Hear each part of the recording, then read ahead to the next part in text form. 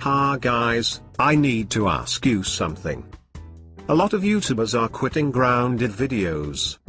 I'm wondering, should I quit? Like if you want me to stay. Dislike if you want me to quit forever.